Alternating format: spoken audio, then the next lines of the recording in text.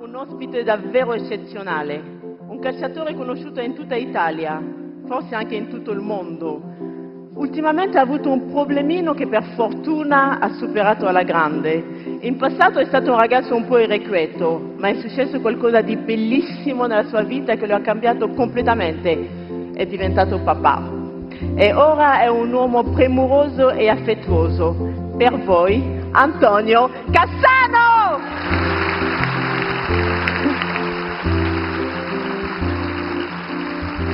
È per te che mi ho cambiato accento, è per te che faccio allenamento, è per te che adesso le mie gioie non sono più le troie, è per te tutto quello che c'è, Cristofe, Cristofe.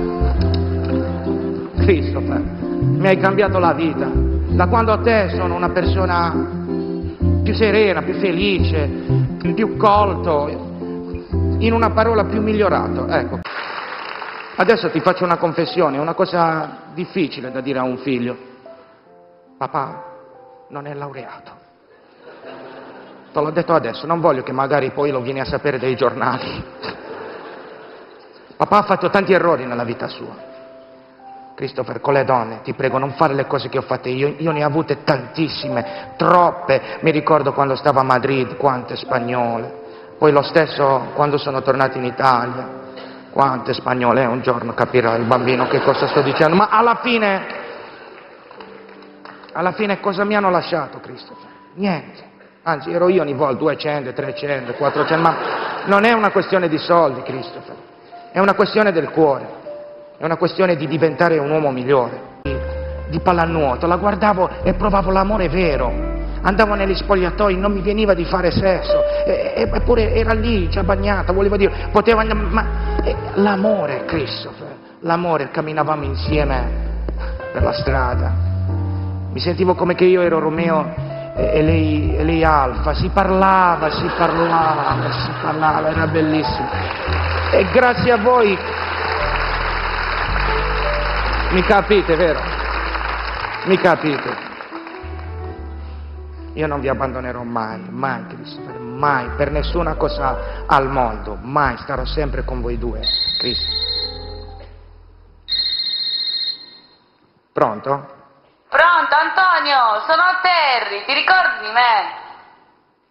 Terry di Molfetta, tutto culo e niente tetta? Sì, sono io, Carnut, come stai? Eh, sto bene, sono guarito, tutto a posto adesso, dimmi, dimmi. Terry. No, niente, prima di tutto ti volevo fare le auguri. Grazie. Poi mi sono detta, siccome sto dalle tue parti, mo lo chiamo, vediamo, si vuole venire a fare una birra, sai, come ai vecchi tempi. No, te, Terry, ascolta, guarda, adesso io sono un padre, sono un marito fedele, quindi te lo dico teneramente, fatelo buttare da qualche d'un altro, perché, vedi... Sei sempre il solito romantico. Eh, lo so, però... Senti, eh, non è che c'è un amico a Milano?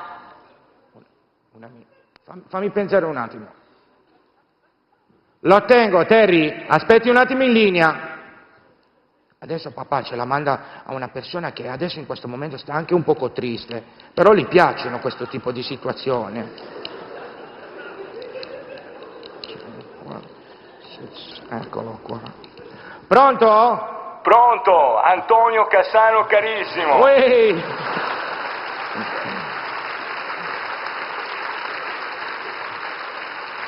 Come stai, Trombolo? Tutto a posto? Ascolta, mi chiami perché ti hanno messo fuori dalla rosa della squadra? No, perché devi entrare tu nella rosa di una ragazza stasera.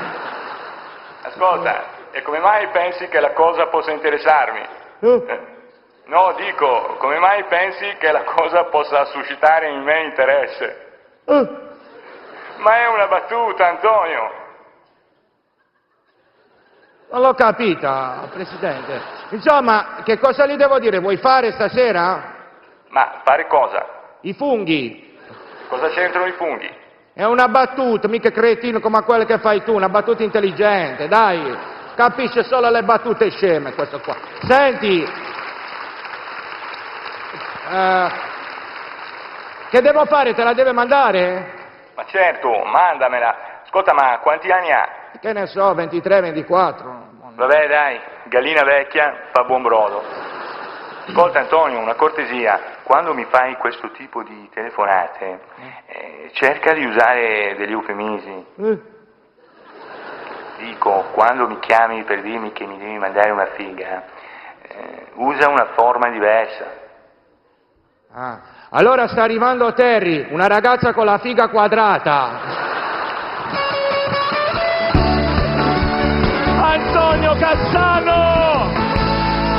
Il mitico Antonio Cassano!